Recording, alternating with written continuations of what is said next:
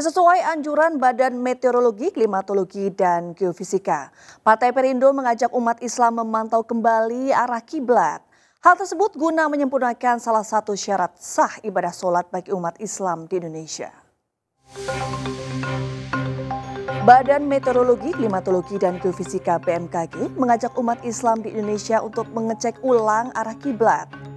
Hal itu karena adanya fenomena pergeseran matahari yang tepat berada di atas Ka'bah pada tanggal 14 hingga 18 Juli 2023. Kendati demikian, fenomena ini hanya terjadi dan berlaku di wilayah Indonesia bagian barat serta tengah bagian barat.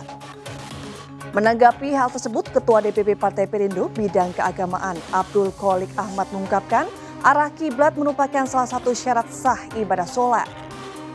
Untuk itu, Kolik mengajak Muslim di Indonesia untuk kembali memantau arah kiblat sesuai anjuran dan arahan dari BMKG.